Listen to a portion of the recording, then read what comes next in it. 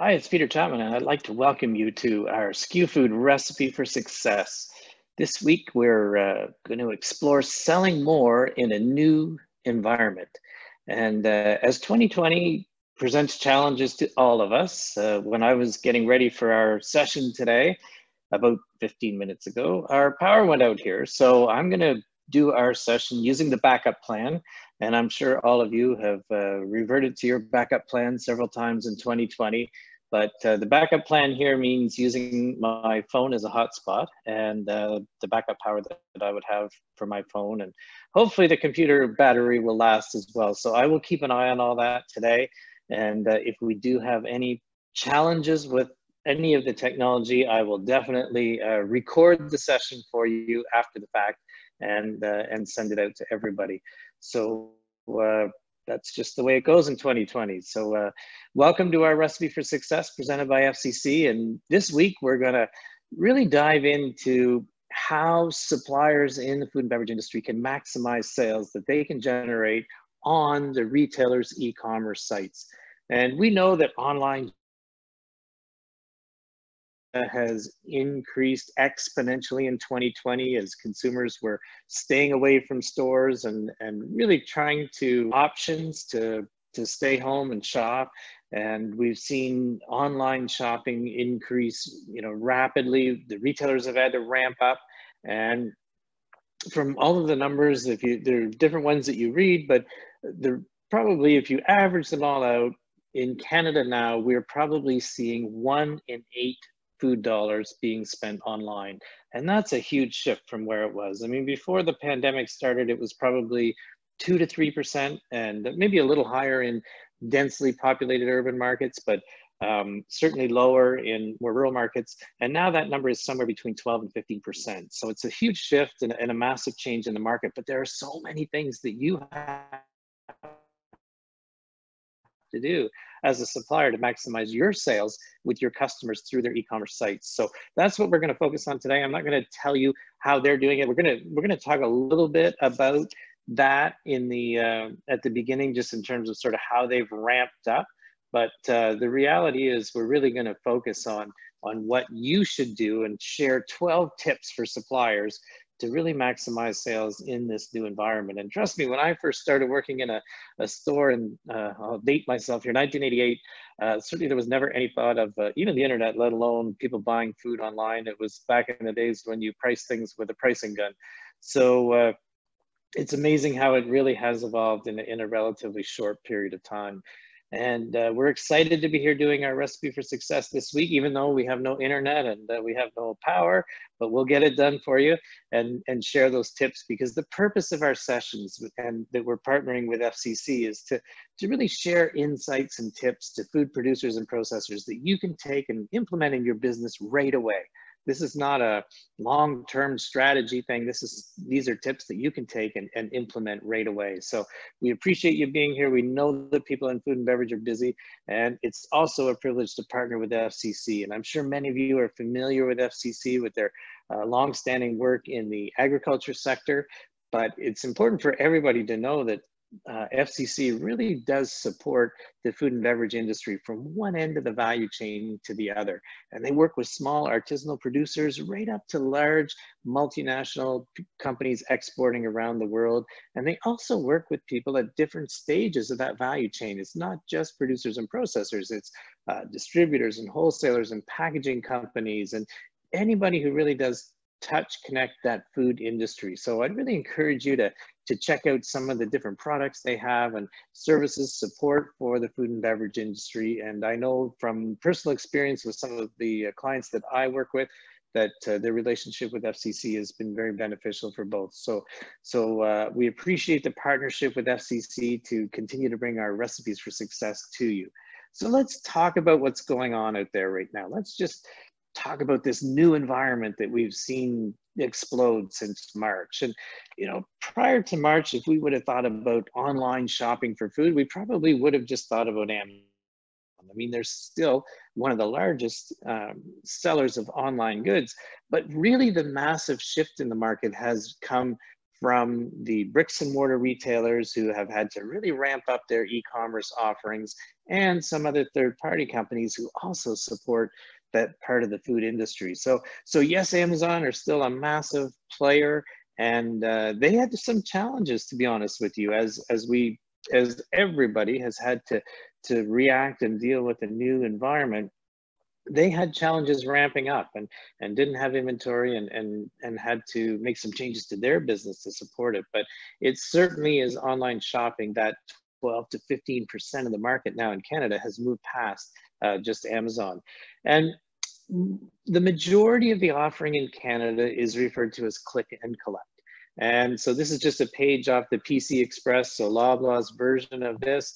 And the, you know, the simple one, two, three explanation is the consumer clicks, and by meaning that you go in and complete your online order, whether you do it on your computer or your tablet or your phone, and then Loblaw employees will uh, pick the order in the store, and then the consumer drives up and collects their, their groceries at a predetermined sort of within a one hour window.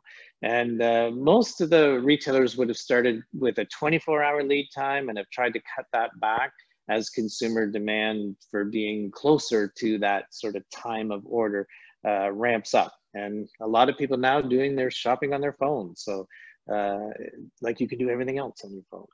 And then we're also seeing in Canada, just recently, Sobeys launched their uh, partnership with Ocado, which is a company out of the UK, to build a dedicated fulfillment center. So this is a photo of Sobeys' new center in Vaughan, Ontario, built to uh, deliver e-commerce in the GTA. And you can see over a thousand robots in a space the size of, I believe it's about 15 football fields. And all of the orders are picked by the then they are going to be assembled and then real people get in a truck and deliver them around the GTA to the uh, to the consumers who have ordered their product online. So it's another model. It's a significant investment to do it this way, but a lot of companies in Europe are moving to this dedicated fulfillment as opposed to picking orders in the store.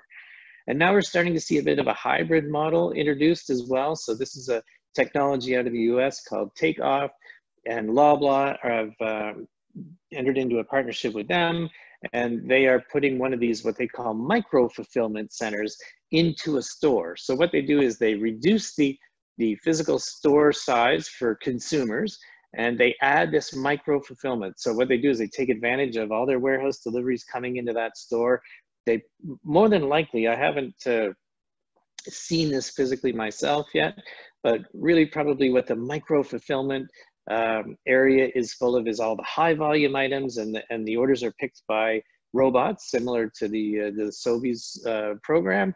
And then you also have access to the other probably 30,000 SKUs in the store. So if a consumer orders something like 12 year old aged balsamic vinegar, which you don't have as a high volume item, somebody, an employee can go in the store and pick that item and fulfill the order. So, so it's just different models that everybody is working to try and find the best combination of, of uh, customer service and execution and uh, profitability and lots of different things come into it that they're trying to, to figure out. And then also we're seeing, not in Canada, but in the US, we're seeing retailers open stores that they're calling dark stores. So believe it or not, this is a Whole Foods. So if you've been into a Whole Foods store, you know that's not what they usually look like. They're well merchandised, they're enticing for shoppers and that kind of thing. So this is a Whole Foods store in Brooklyn, New York that has, you know, they prior to COVID-19, their intention was to open it as a retail store. But since the onset of the pandemic and the increase in online shopping, they turned it into what they call a dark store and they just have employees shop the aisles and pick online orders and then have them distributed. So that's another model, changing real estate, store size real estate into uh, really a, a, little fulfillment center. And then we also see a third party involved in the uh, in this whole e-commerce program, and we're seeing two uh, in Canada that that do put quite a bit in. Um, into this. So one of them would be uh, Instacart. So you can see here, this is just a, a screenshot of their website. And uh, to be honest with you, I was a little frustrated when I started exploring the Instacart website because every time I clicked on something, it brought me back to start an account. Never did it tell me how much or anything like that. And it, you know, from a just a pure consumer, forget my sort of industry sort of knowledge and, and that kind of thing, just from a consumer perspective, I found it a little bit frustrating to be honest with you. Um, but Instacart and InaBuggy are two companies operating in Canada where you go on their website, you determine which retailer you want to shop with or that they're going to shop with, and you can uh, complete your online order. They charge you a fee. I believe with InaBuggy it's uh, 19.99. I could never get that far with Instacart, so um, I don't know what the fee is. I, I do know, but um, it just frustrated me. So uh, they charge you a fee to pick your order and deliver it. And then with buggy or or Instacart as well, uh, in markets like Ontario or BC, they will also go to other stores for you. So if you want them to stop at the LCBO or the BC Wine store, they charge an incremental $9.99 per stop, and they will pick up all of your, your other orders. So, so uh, some different options for e-commerce and food. So different people trying to uh, um, uh, satisfy this growing and, and really growing demand. But just to, to give some perspective, uh, so 12 to 15% in Canada. The number in Asia would probably be about 25 to 35% of food is purchased online. So still a lot of opportunity for growth in Canada and North America. And I see a, a comment from Ron there saying that he's dating himself.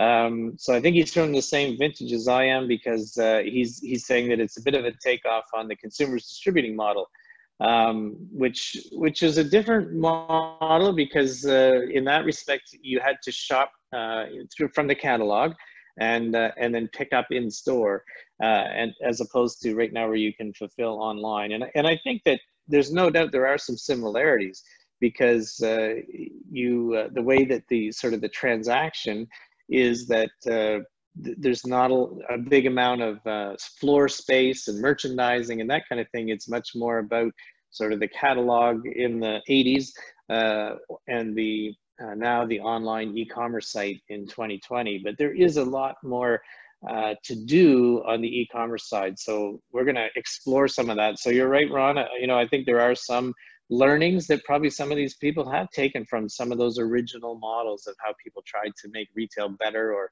or more efficient so. So let's talk about those 12 tips that i have for you and, and this is really what's so important is how you uh, can take this information and, and be able to really implement it in your business and uh, just for those of you who have joined, I know things aren't uh, quite as crisp as normal uh, today, but uh, our power is out here. So I'm operating using my phone as a hotspot and uh, without the lights that I would normally do. Uh, so I'm a little bit in the dark today. So that's why things aren't quite the same they usually look, but we wanted to make sure we got this information out to you. And as I did say earlier on, um, if I do lose my connection to the internet, then I will definitely record the session and, and send it out to everybody who's registered. But thank you for being here. Uh, it's a little ironic that we had the power go out today because last week when I delivered our recipe for success, it was in the middle of uh, Hurricane Teddy going by Atlantic Canada. And this week there's no hurricane, but our power's out. So just uh, 2020, I guess. So let's talk about these 12 tips. So the first one is visit your customer websites weekly. And this is really important. And I want you to kind of think about this as um, really doing your store checks. And I'm always been an advocate of saying you've got to be in the stores, you need to see what's going on. Well, now I'm going to give you another task, which is you've got to be on the websites and uh, the e-commerce sites. And you can do it from your desk, you can do it from your couch, but you got to make sure that you're in getting on these sites and and checking out to see what's going on. And I just put this one up as an example. And um, you know, I'm going to show you different sites from different retailers as we go through the session today. So I'm not meaning to show one good or bad or anything like that. It's really just to show you some examples. So here's the berry category from uh, Loblaws banner in Atlantic Canada. And you can see that in at this time of year, they would always be selling a uh, high bush blueberry pint, but it's not there. And it hasn't been there for a few weeks. So if you're the vendor selling that high bush blueberry, you're not going to sell any online because it's not there. So you really do have to check. And yes, should the retailer be checking? Yes, should they know their listing base? But you have to remember they're managing 35,000 SKUs, maybe 40, 50,000 SKUs, some of them when it comes to GM. I know Walmart's numbers would be way higher than that. So you need to look out for your own SKUs. So I recommend you just have somebody in your business go in, check your items weekly to make sure they're there. Because as we go back to what we talked about at the outset, if one in eight dollars are being transacted online, you have no chance of getting that dollar if you're not there in the right shape. So make sure that you're checking those websites regularly and, and making sure that your items are there. And if they're not there, follow up with your customer. Take a screenshot, same as I did here, and just attach it to an email. I mean, you can't get all wound up about this stuff because it's not that it was done intentionally. There's either a flag is not right or something. So just attach a screenshot and say, we were in looking at the e-commerce site, uh, notice that the item is not there. Can you check into it? And make sure you get to the right person because the merchants that you are dealing with on a regular basis might not be the person who's got to do uh, change the flag or, or do whatever needs to be done in their system to get that item onto the e-commerce site. So just ask the question, who should I deal with? Is it you? You know, who should I send the email to and, and get it switched? And here's another example. This one here I always find interesting because uh, obviously, uh, oh, our power just came back on. So there we go. Um, so uh, Kraft, you know, a large multinational company, are uh, their pizza sauce is not on that site. And the, the reason I know that is that's a product that, that we would buy uh, in our house. And uh, so a couple times when we've been doing online shopping, I apologize for all the noise, but things are kind of coming back on here. So, but that's an item that's not there. So if I was Kraft, I'd be saying, hey guys, uh, you know, when I do a search for Kraft pizza sauce, I can't find my, stay on top of that weekly. And another thing that's interesting now is these e-commerce um, before I think I lost you, uh, I was just talking about being out of stock. So and some of the retailers' um, uh, websites now and the e-commerce sites are connected to their inventory system so they can tell uh, if an item is out of stock and that flag will go on it. So kind of a warning to consumers, but also if you're a supplier, you, you need to know that and, and pay attention to it. And the next tip, number two, is that we want to encourage you to look at maybe transferring some of your uh, trade spend to e-commerce. And we know you can't just keep spending more and more money. So perhaps you need to pull back on something. Perhaps you are investing in demos, in-store demos, which you can't do anymore. Uh, that could be one option for you. Another option could be perhaps some of your discounts, but explore some of the options because there are some very effective opportunities for you to to to increase your trade spend in the e-commerce area and drive sales. So this is a screenshot of Sobeys Voilà site, which uh, is available to consumers in the GTA. And here they're partnering with uh, with the Greek yogurt brand Oikos, and so what they have is what they call favorites. And uh, then if you click on that, then it takes you to all those items, and you can immediately add it to your shopping cart. So, so just uh, another way for you to, well, another way for you to spend money, but it's really got to generate sales. So make sure that when you're doing these things, you measure your results and try to figure out if uh, if it's generating a return for you. And here's a, a, a piece off the walmart.ca site, and you can see Alcan are promoting their turkey roasting pans. So coming into Thanksgiving, that all makes sense, right? It's no different than in the past. They probably would have paid for some incremental merchandising space in the store to merchandise those roasting pans, which it's kind of a crazy thing we do in the food industry, right? When people want to buy it, we pay extra to merchandise. But anyway, we're that's what we do. Uh, so but they're doing it online. So they're promoting those turkey roasting pans and you can see that green button that says shop. And that's what is going to get the consumer to pick it up and put it into their shopping cart. And that's what the key is here. And as many of you would have heard me say before that, uh, you know, if you, you know, your job, your role as a supplier is to um, get your product on the shelf and into the shopping cart. And you've got to get it into the virtual shopping cart as well. And one thing I wanted to share with you this week, I was really excited because we got some of our new SKU Food shopping carts. this week. And uh, I actually was looking at some of the people who've been joining us on a regular basis here. And uh, I see three people who've been here for many weeks in a row. So I'm going to send you a shopping cart, uh, one of our SKU Food shopping carts. So uh, Crystal Anderson Bags and um, Jim Philpott and Ron Clancy, if you send your address to Susan at skufood.com, So if you email your address to susan at skufood.com, we will send you one of our SKU Food shopping carts. And we'll do some other fun things with our carts, but I've just been looking at uh, who's been joining us and we really appreciate you being here week in and week out. And, and it's a little reminder that you've uh, always got to try to get those products into the shopping cart, whether it's a physical one in the store or a virtual one online. So, so we appreciate you being here. And uh, like I said, we'll do some other fun things uh, as we go along with our shopping carts. And I see there are a couple questions, so maybe I'll just take a pause here. Um, there's a comment here about uh, Costco, um, Costco doing in-store demos.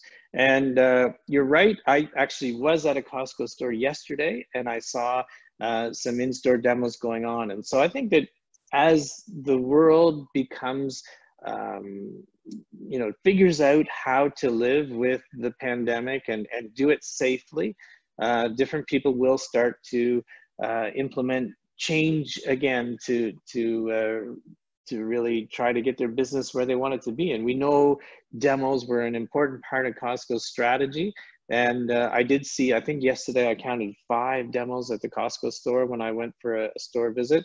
So uh, yes, you're right, they are back. And uh, it'll be interesting to see if we see the other retailers move on that or not, because it is a revenue stream for them as well. Uh, so, um, so, but uh, Shelly, thanks for, uh, for pointing that out. And I just see there's a couple other comments in the chat. So let me just see. Uh, okay, so Deborah said that I'm back. Thank you. And uh, I guess Ron is excited uh, about getting a cart. And I see another comment from James too. Um, he wants to trade me some pierogies for a shopping cart. And James from Perfect Pierogies in, in Manitoba uh, makes a great product. It's they really are a, a super pierogi, uh, handmade. And uh, actually, James, I saw your your booth on SIAL today when I went in to check things out. So great to see you there. So anyway, we'll work out that uh, pierogi for shopping cart trade for sure. Uh, so thanks for your interest. And oh, let me just uh, get back. So what I wanted to do there is just talk to you quickly. So we've talked about a couple tips. So next week, we're gonna talk about the numbers. And uh, the reason I want to just bring that up here now is our first week, we're going to talk about gross margin versus markup. And uh, but one of the weeks in October, we're doing the whole month about the numbers, and I promise you, I'll make the numbers exciting. Uh, we're going to do talk about the cost of discounts and how much suppliers should be discount their products, how much you should be spending for trade spend, and that kind of thing. So that's why I just want to throw that in there that we're going to do the whole month in October about the numbers. Uh, we've got a great session on uh, on the markup versus margin, and then. Um, and then we're going to do a session on the cost of, uh, of brokers and distributors. So I'm hoping I can get somebody from a broker or distributor to come on and, and maybe just share some of the, the good things that they do and, uh, and, and what they're working on. And then we're also going to spend one week talking about gross margin, uh, contribution margin, and retails. And so, yes, those are all numbers retailers control, but the reality is the things you do impact them. So I'm going to share some insights from my time uh, behind those closed doors, maybe not any state secrets from the retail side, but I'm going to tell you uh, how they get calculated, why, and, and how some of the things you do can impact them. So I see Susan has put uh, the link in um, to the chat. So I appreciate that, Susan. And I'd love to have you with us as we dive into the numbers for the next uh, four weeks in October. So let's get back to our tips. And uh, so tip number three is that uh, we want you to monitor those special sections every week. And this is no different than checking to make sure that your ad items are in stock in the store and the displays are built. So let me just show you some examples. And so here's one where we've got a bunch of items that have been put in for back to school because it's back to school time, but check to make sure the links all work. So when the consumer clicks on that uh, cereal or whatever your product is at the bottom, make sure that the links all work because it's a complicated thing running these e-commerce sites. So you need to just check and make sure because if the link doesn't work, it's not going to get into that virtual shopping cart. And here's another example of, of just following through and checking those sections. So we can't lose sight of the consumer's search for value. And we know that e-commerce gives them the opportunity to shop from home and, and it's convenient and, and they can feel like they're staying safe. But we also have to remember in the food industry that value, which is that combination between price and quality and trust in my world, um, we have to remember. So if you're somebody who's got an item on rollback with Walmart, then go in and make sure you can find it. So go in through, work through the different sort of sequences. So if you're on rollback and you see pantry food and uh, you know is that where you should be or drinks or frozen food? So just make sure that you're there because it, it it doesn't always flow the way we're expecting it to. So so go in and check to make sure you're in there. So check no, tip number three check and check and tip. Uh, tip number three is to check those photos monthly. And it's really good to be looking at your product photos, the same as you would have looked at them in the product flyers, the, the retailer's flyers, but now you also need to check online. So here's an example. So this is a sour cream in our market. So you can see it's restaurant style in the photo, but then in the description, they're saying it's thick and tangy. So I don't know if that's the same SKU or not, but if I'm farmers or, or uh, Agropur, I would rather have it say restaurant style sour cream. That's what's on my packaging. Or if that packaging is outdated, then you need to get the right photo in there. So something doesn't match. So you need to just make sure it works because you might lose a sale if it's not right. If the consumer looks at that and goes, well, I want the restaurant style. If I click on that, am I going to get thick and tangy or am I going to get restaurant style? So all those kind of things come into people's mind and online. And one thing about online, you're not there to pick it up in the store. And once you get it home, if it's not what you want, it's kind of a pain to have to return it and take it back and all that kind of stuff. So, so it's really important to, to just keep checking your items all the time. Sometimes things change. Uh, as I said earlier, remember they're managing 35 or 50,000 SKUs. So, so keep an eye out for yours. So number five, and I think I had the wrong number on the last one, it should have been number four. So number five is to deliver added value recipes. And we know that consumers are cooking more at home. We know people are eating more meals at home. And in certain parts of the country, we really seem to be entering into this second wave or we're in the second wave. And I believe we're gonna see retail traffic uh, reduced again as people are gonna uh, be concerned about going out again. So what better vehicle to communicate recipes than a, retailer's e-commerce site because they're right there shopping. So if, uh, if, this one is an example that Kraft has put out, so apple Brussels sprout salad. So I'm sure there are two or three Kraft items in that recipe. So you click on the recipe and then you can shop it. And it's just so easy for people. And remember, people don't all love shopping for food. So the easier we can make it for them, the better. So find those opportunities. And most food producers and processors have recipes for their products. The retailers love recipes because usually consumers buy three or four more things. So there's all kinds of good reasons to do recipes. So, so if you can find opportunities like that, then take advantage of them and, uh, and look for those opportunities and create them for yourself. Don't wait for the retailer to come, create them for yourself. And tip number six is shopper information. And wow, there is so much data being collected now that retailers really have a much better idea of who's shopping in their stores, who's buying these items. So if you want access to that data, more than likely you're probably gonna have to pay for it, depending on the size of your business. If you're McCain or Kraft, they're gonna make you pay a lot for it. If you're a smaller regional vendor, then perhaps it's gonna be more affordable and you'll be able to check and say, you know, develop that really button down definition of your target market. And you know, you hear me talk about that, that that's such an important part of a successful food business is, is having that definition of your target market. So now with one in eight dollars being spent online, you have a really good idea of a, a profile of who's buying your product because most of these people are buying it with an Air Miles card at Sobeys or a PC card at Loblaw or um, if you're in Save On Foods, they have a loyalty program. The only store who really doesn't is Walmart. Their loyalty program is price. So you can learn so much more. And the other thing about this is the artificial intelligence that the retailers are creating. And we know consumers are creatures of habit. We know that consumers are going to in a lot of cases take the easy way out. And I can tell you from our own personal experience that um, you know when we look at online shopping, uh, a lot of times we'll go to our previous orders and say, yes, we want to buy that type of milk we bought before. Yes, we're going to buy an English cucumber again. Yes, we're going to buy this product or that product that we're comfortable with and we know. So I'm not going to go searching. I'm just going to take the easiest route, which is to go back to my history. But every time we buy another online order, they collect more data. So there really is an opportunity to learn about consumers and soon, no different than Amazon. I mean, we always kind of think about Amazon as knowing what we want to buy before we do. Uh, the other retailers will catch up in some of that sophistication. So, so lots of opportunities there to do that. And uh, I'm just going to check. I think we have another question here. Um, Costco, does Costco do their own sampling? They use their own staff. Yes, they do use people from, uh, they do, it is part of the program of working with Costco is that um, that they do use their people to do the demo. So it's not a sort of a third party kind of situation.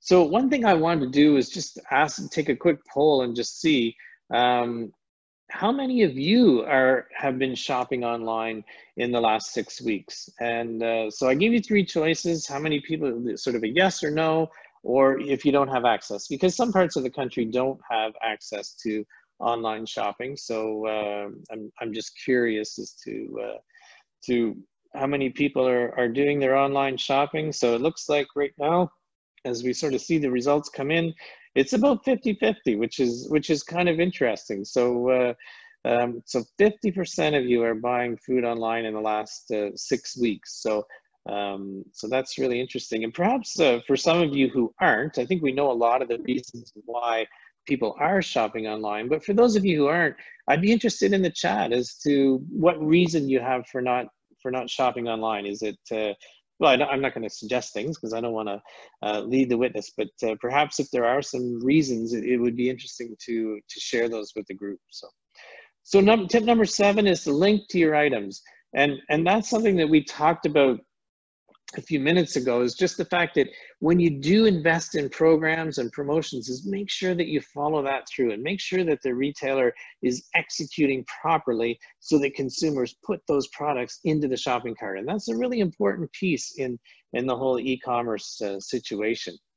Uh, you also want to check special categories. I just want to show you these are um, screenshots off uh, walmart's site and you can see they do a really good job of highlighting gluten-free or uh, no added sugar, no soy, organic products. So there are a lot of consumers who will just want to shop that way now. We know that the sort of the segmentation of consumers is always evolving. And uh, a few years ago, there was there was all kind of uh, focus on gluten free, which I don't see on the list here, but I'm oh there it is at the top. Sorry, I missed it. And I'm sure Walmart have more than 36 gluten free products. So the point I want to make is make sure if you are gluten free, that Walmart have you in the right place. And so that means that the, the consumer can find your product in different locations on the e-commerce site. So check to make sure that if you are promoting yourself as gluten-free, then make sure that Walmart have you listed properly on their e-commerce site. And you want to ask those questions about where are they getting that information from? Is it through uh, when you filled out all your forms on, on ECCNet or was it a specific Walmart listing form? Where are they getting this information from? Because you wanna make sure it's correct and you wanna make sure that ongoing that you have it filled out correctly. So lots of great information for consumers. If you're lactose intolerant, and then you can just go to that section and that's where you're gonna shop. So if that's important for you and that's your target market, then make sure you're checking to uh, have those uh, have those flags, which is really what that's sort of the merchandising, the retailer's merchandising term for the listing that they have the flag turned on, uh, so that you get added to that no lactose sec section of their site. Um, so I see just a few uh, comments in the chat. Um, uh, one from Shelley uh, about their products and stuff. So that's great. And uh, so she shops uh, the reason, and I think these are sort of responses to the online question I asked. Um, so that because of owning a farm uh, and an on-site kitchen, it sounds like you've got everything there. And uh, I don't blame you. I think that sounds like a pretty good place to uh, to shop and and get your food from. and I see from James that he doesn't shop online uh, because it's more frustrating than a benefit. And, and I think it is a, a learning curve, no doubt about it. Um, it's, it's interesting and uh, one of the, I'm going to talk about consumers in a few minutes, but it is it can be a challenge sometimes. And uh, he says he loves to go to the store and choose local ingredients that he wants to pick up himself. And and I think that's a, a fair point. Um, you have to have an incredible level of trust uh, with your retailer as a consumer uh, to, to do online shopping because are they going to pick out the products the way that you want them picked out? And and I would agree that um, you know the, the the there are a lot of opportunities that we miss by not being in the store and impulse and, and that kind of thing. So interesting James thanks for sharing that. And and also Deborah I see you there from uh, from the west coast. Um, so she wants all the information that she can get from the label uh, the product story, the origin, and everything. And that's a great point too. I think that there are we've put so much effort into uh, educating the consumer uh, at the shelf. And now, because of this sort of transition into more people shopping online, we have to do a great job as a supplier telling our story so that the consumer understands it online as well as in the store. And uh, but I, I, appreciate you all sharing um, some of those reasons for uh, for continuing to, to go to the stores and we know that that's still a, a, huge part of our food business. And i'm not telling you that it's totally shifted but the online segment of the market is growing and we have to have to evolve and, and respond to that. So so check out those specialty sections. If you if you should be there make sure you're there. Uh, another thing that um, you want to look at is consumer reviews and this is something that's relatively new for us in the food industry.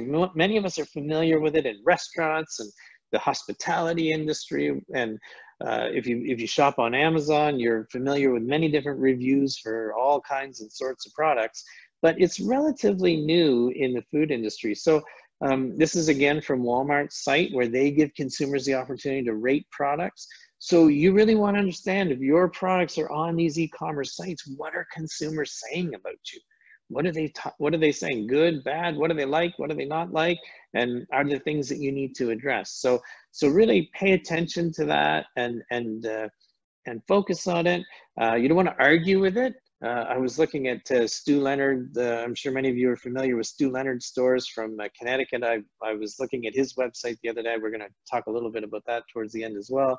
Um, but uh, it's always interesting to see how much they talk about their their rule, which they would tell you is the foundation of their business. It's carved into a giant rock at the front door of their store that says uh, the customer is always right. And then rule number two is uh, um, if there, if you disagree with this, refer back to rule number one. So the customer is always right. So if they write a review that you don't like, then it's you've got to figure out what's going on and, and what's causing that. So, so pay attention to those reviews and uh, and and really try to figure out how it can impact. And and some and a lot of times it can be good for your sales if you've got a great product. If people are giving great reviews, then wow, that's awesome. And another thing that you should look at is check out that new arrivals section. And if you're launching a product, and there's only 21 in here right now on the Walmart site, then you need to be in here because there are consumers who look to say, what's new? I want to spice it up. I want to change. I'm getting tired of eating the same old thing. So they're looking for new products. So you have a window, a limited window when you're considered new. So make sure you're in there and take advantage of it and do as much as you can during that time to create awareness and exposure and get yourself onto those shopping lists so that then when they go back in and look and say, what did I buy last week or the week before? There you are. And they go, oh, we like that. We're going to buy it again. So uh, make sure you, you check those new arrival sections. And tip number 10 is consumer research. I referenced this a little earlier, but how do they shop the site? And we used to spend a ton of time trying to figure out how consumers shop stores. So now we have to understand how are they navigating through all these different uh, e-commerce sites. So if a consumer gets to this page on Walmart's site and your product is, um, I don't know, pizza, do they know where to go? And that's always one that I remember from my days at Loblaw because we actually got on a project one time and we found in our store, which was probably about a 50,000 square foot store, we had 21 different places where we sold pizza. So if you're a consumer looking for pizza, how do you know where to go? So if people are looking on these e-commerce sites for your product, do they navigate through the site the right way? Do they end up getting to you? And that's so important because if they can't find you, they're not going to put you into that virtual shopping cart. So make sure you do some consumer research. You bring people in who are in your target market, sit them down in front of the screen and, and watch. Just say, shop and, and see what they do. Do they go to the deal section? Do they go to the Canadian section? Um, and that's another one that we found was uh, Loblaw have a section on their websites for Canadiana. And uh, so you want to check and see um, if, uh, if you're in there.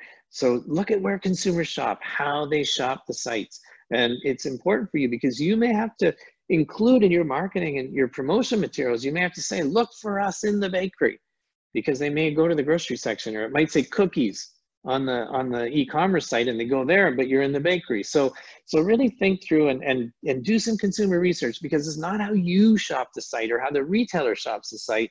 It's how the consumer shops the site and that's what we have to learn about. So number 10 is to consider online coupons. And i mean coupons are not new right? Coupons have been around forever but we need to consider online coupons and a lot of consumers especially those under uh, you know a certain age are more likely to be using online coupons and they're probably using it on their mobile device. So take a look at that. Um, here's an example from save on foods where um, you can see you sign up for an account and you get awesome deals in your inbox every week and all the retailers do this. I sign up for them because i want to see what's going on. I get emails from walmart sobeys loblaw save on like they're all there um, but consumers want to know, and this is where you can do some of these online coupons and, and really connect with people. The great thing about coupons, you pay for the performance, so it only works if people shop and purchase your item. But uh, it's it, but it doesn't work for everybody. Online coupons are not something that everybody um, uh, is you know is is uh, using from a demographic perspective. So. Uh, so I see a question there from Ron. Do retailers offer the information to suppliers or do you have to conduct the research yourself? I would suggest you want to do it yourself with your own target market. Um, you know, they're going to tell you that their site is great and that it does all this great stuff. But what you really do need to make sure is that your consumer can find your products on there. And so I would really encourage, I don't think it's a really massive, you don't need 1200 consumers or anything like that. I think you just want to put some people in front of a computer and, and ask them to, to do their shopping and, and see how it works. Um, how do I manage my email with all these uh, emails coming in? Yeah, th there's no doubt I uh, would be lying if I told you I read every one of them from all these retailers, but it helps me know what's going on. Um, I I do really think it's important for those of us in the industry to try to make sure we do know what's going on. And, and every once in a while, you see some great ideas. You go, wow, that's an awesome one. Um, so I just skim them, and if something catches my eye, then I'll, I'll focus on it and, and, and learn from it, really. It's what I'm trying to do. So tip number 12 is to check out other sites. And I referenced Stew Leonard's earlier. So um, in the past, I would have said to you, when you're traveling, get in the grocery stores, right? And uh, now, unfortunately, travel is not nearly as uh, much a part of our lifestyle as it was. Hopefully, it'll be back soon. But in the meantime, you can visit some phenomenal e commerce sites and get some great ideas. So, uh, what I'd like to do is um, one thing we did do, and Susan will put into the, ch the uh, chat there, I believe she could do it for us, is, is she's going to give you a link. And I've put the 12 tips into a PDF document that you can download. So if you click on that link, uh, then you can go in and download the 12 tips. And uh, what we'll do in our follow-up email as well is I want to give you some websites that you can that you can go in and check out. And I'm sure many of you are familiar with some of these websites now, but I just want to share some of them with you. So we'll put that into uh, our follow-up email. And uh, I'm hoping that uh, Susan will be able to put the um, the link to uh, to download the PDF in the chat and uh, there it is, I think. I just saw the chat there. So, um, oh, I see. It's a question from Deborah, actually. It says, Stew Leonard, um, is that the name? This will be on the list. Yes, I'll put the Stew Leonard one on the list. So Stew Leonard's, uh, they have a small number of stores in Connecticut. It started out as an extension of a dairy and uh, phenomenal stores. Uh, they were featured uh, in In Search of Excellence, if you remember that series years ago about management and business management and uh, Stew Leonard, and then subsequently his family had taken on the next generation. but just just really fun, incredible stores, and they do a lot of crazy stuff. So um, interesting to see what they're doing. So thank you, uh, Susan, as well for putting that in. So if you take advantage of that, click on that link, then you can download that PDF of our 12 tips. So, um, but I will also send out those websites uh, in our follow-up email to you from uh, registering today.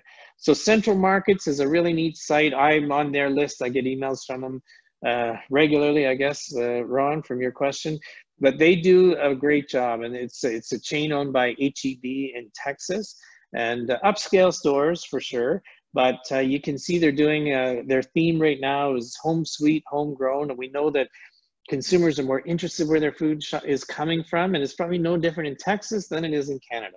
And they're featuring a whole bunch of local products. So these are the kind of ideas you can take a screenshot and send it to your retailer, to your customer, and say, hey, do you think you guys are interested in doing a, a series like this? It looks great from the central markets uh, perspective. And if you saw the rest of the email, you'd see down below where they've got all kinds of uh, or sorry, website where they're featuring all kinds of Texas products. So, so they're a great one to look at Central Markets by HEB. I'm sure many of you are familiar with Wegmans, a great chain of stores in, um, they started out in New York and have uh, expanded across New England. And they are really great fresh stores. So if you um, look at their website, you'll see they do a lot of profiles of, of suppliers and, and they do some written profiles, they do some video, and it's a really great almost uh, shows the collaboration that they have with some of their suppliers. And uh, Wegmans fresh, like, I mean, when I worked for Loblaw, to be honest with you, we would drive to Buffalo and go to the stores and just sort of look and say, well, what are they doing? How are they doing it? How can we implement some of these ideas? Because they do a phenomenal job. So Wegmans are another great chain to look at. So I'll put that website in the uh, the follow up. And now I'm going to take you to the UK. So you know, from your desk or your couch, now we can travel across and and visit Tesco, a big retailer that has uh, stores all across the United Kingdom and also an international division as well. But what I like about seeing some of these different sites, and I'm going to give you Waitrose as well. I don't have a screenshot of them here, but um, you see a lot of different types of packaging and uh, and see how they are doing e-commerce. And you'll see uh, one thing that um, I wanted to point out on the Tesco site, which we don't see here in Canada as much, is they they highlight. You can see in the bottom left the two uh, the butter items that are on there that they highlight where they're matching Aldi. And in the UK, there was a huge uh, disruption in the market with discounters, and Tesco really took a, a, beating in their market share, and they're trying to fight it back. Um, so now they're price checking Aldi, and so they're saying to consumers online, "We've checked, and we're equal to Aldi, so they're both the same price. So you don't need to go to Aldi; you can shop here with us at Tesco." So you can see some. Uh, some neat stuff in, in different markets. Another one I'll give you, I don't have a screenshot of them, is uh, Woolworths in South Africa.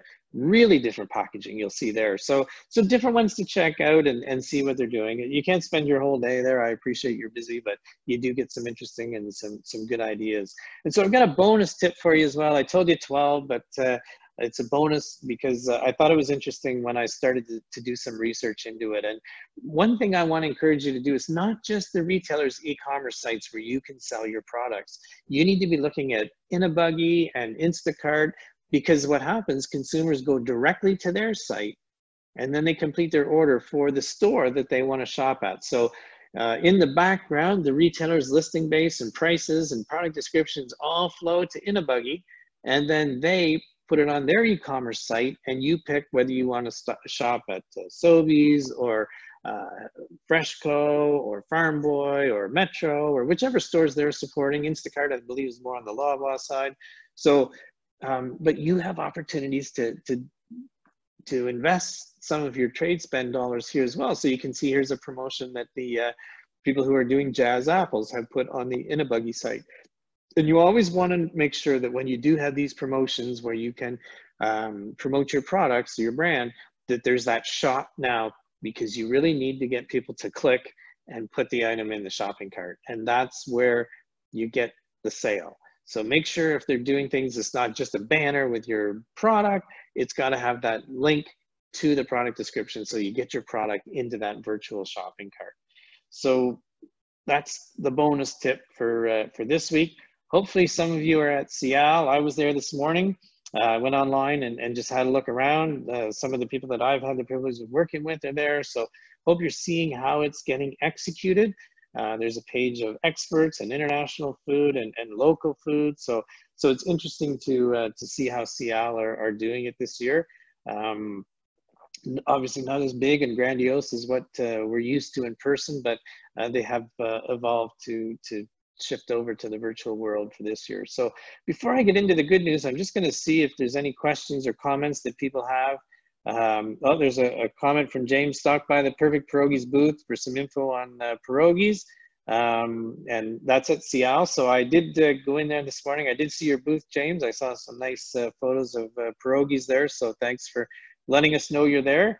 And um, I see there's another question here uh, from Ron. Um, the Social Dilemma documentary on Netflix. Uh, thoughts on the effects on marketing of social media? If not, I'm interested in your reaction at a later date. All right, well, I haven't seen that, Ron, so I will have to put that on my, uh, my Netflix list. Uh, it's been a busy few weeks around here, so I haven't been watching as much TV, but I will, I will check it out. So it's, uh, I know there are a lot of great uh, documentaries on Netflix and interesting to, uh, to see some of them and understand how they impact our, our industry. So, so thanks for pointing out. Out oh, and uh, there's Laura. She's saying it's excellent. So obviously uh, she found it really interesting. So thanks for that, Laura, as well. So I will check it out. I will make a note of it, the social dilemma, and uh, hopefully I'm not offside with any of it uh, when I watch it. So I will definitely check it out. So, and uh, if you do have any other questions or comments, I'd be happy to answer them. I think this whole online shopping uh, thing is something that um, we really have to embrace and, and understand and uh, a lot of things that as suppliers that we can do to influence our sales in these e-commerce sites and and to be honest with you when i was going through doing my work to prepare for this week i learned i learned a lot and i've been going on these sites all along i learned a lot and i think that uh, it's really incumbent upon us to, to check them out and, and really understand what's going on out there. So, so I encourage you to do that. If you have any questions about them when you're looking at them, uh, just shoot me an email, peter at skufood.com, and be happy to, uh, to answer your questions. And as we finish every week with some good news in the food industry, and I still continue to be impressed at how our industry has responded to the challenges of 2020 and really um, doing our best as an industry to provide food that is safe and and good and, and of value to Canadians. And, and I think that everybody in the industry just should be commended for what they've done this year. So, um, so give your staff, give your people a round of applause because I think we really are uh, doing a great job. And some of the things that I saw this week uh, that I wanted to share with you. So one is coming uh, from grocery business, and that's another email that uh, that I get, uh, and hopefully you do too, because some great information, whether it's grocery business or Canadian grocer, the industry uh, information is, is great. So InaBuggy, which I referenced earlier, um, have launched what they call a hyper-local delivery service.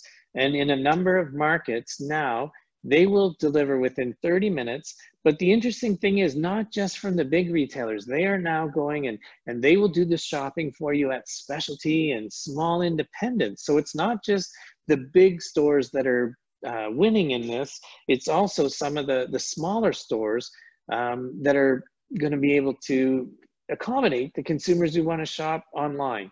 And I think that's a, a, great service to consumers and a great service to some of these smaller stores to be included within that um, that arena so that uh, consumers have access to their products. So, uh, so I think that's some good news. So just an example, if you go on the InaBuggy website, uh, you can see, you know, a, a smaller uh, like Brothers Butchers where they talk about you know that uh, the meet the real meat and uh, and and but InaBuggy will do their shopping at that store for you. So so i thought that was great news. Um, and in prince edward island they've launched uh, uh, what they call canada's food island gift card. So consumers can purchase these gift cards in uh, i believe it's increments of $50 and uh, and you can redeem it at any um, a big list, it's not any, sorry, but a list of uh, restaurants and uh, food stores and other hospitality across Prince Edward Island. So they're doing their part to try to encourage sort of that stay at home vacation. And in Atlantic Canada here, we can travel within the four Atlantic provinces. So trying to encourage people to do that. And they have a promotion on right now. So if you spend $40, you get a $50 gift card. So $10 free uh, to buy some really great uh, products produced in Prince Edward Island from Prince Edward Island merchants. So congratulations to uh, the folks at Food Island Partnership, uh, Brian and Kent and Morgan and Tyson for putting that program together and getting that launched so that consumers can and really take advantage of it. So I think that's some great news this week. And our final good news story for this week is uh, I hope you had a chance to catch the BC Food and Beverage Gala. So BC Food and Beverage, they would normally have their uh, show in person, and it's a great uh, uh, show that uh, James and the team at BC Food and Beverage put on.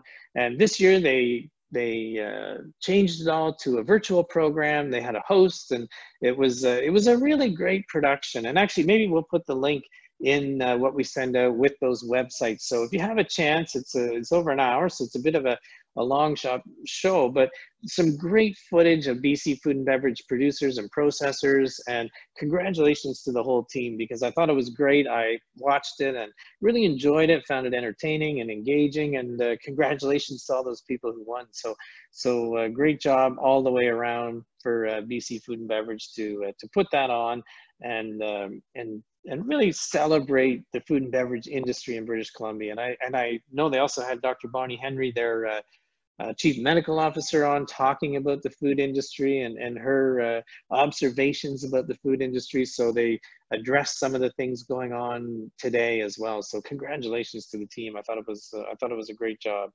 And the last thing I just want to remind you is about next week where we're going to talk about the numbers. And I actually have a gift for you next week as well. So this is a SKU food profit wheel and it helps you calculate gross margin and markup. And uh, these were developed so that uh, producers and processors could take advantage of, of really being able to calculate this really quickly. And uh, so our first section, our first segment next week in October is about gross margin versus markup. So the first 50 people who log in next week, we will send you a SKU food profit wheel. So uh, hopefully you've had a chance to register and uh, you can be one of the first 50 people here next week, Wednesday at uh, 2 p.m. Atlantic, 1 p.m. Eastern on October 7th. And uh, the first 50 people, we will um, give you a link so that you can give us your address and we will send you a SKU Food Profit Wheel. We'll give you some instruction on how to use it. And uh, it's a great tool. I use it all the time here uh, in my work with different producers and processors. So we're excited to be able to share those with you next week. And thank you again for being here. We appreciate your time. We know that you're busy and uh, we really enjoyed the opportunity and the privilege to partner with FCC to put together our recipes for success each week and, and share these insights to the food industry. And despite a power outage, we, uh, we still bring it to you and, uh, and get you the information that uh, hopefully will help your food and beverage business. So thank you for being here and uh, we look forward to seeing you next week.